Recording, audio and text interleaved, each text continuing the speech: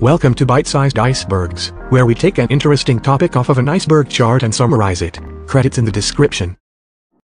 This video contains extremely disturbing subject matter. Viewer discretion is advised.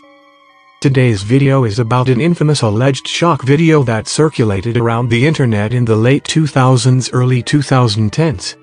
According to the Screamer Wiki, the video is about six Asian girls mutilating and having sex with the titular corpse of an Asian man. First, they gouge his eyes out, then they defecate on it, and then chop off their limbs onto him as well. There were alleged reaction videos on YouTube to this horrific presentation.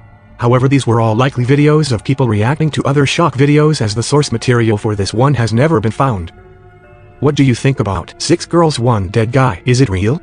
Or just a hoax? Let me know in the comments. Thank you for watching, as always like and subscribe for more.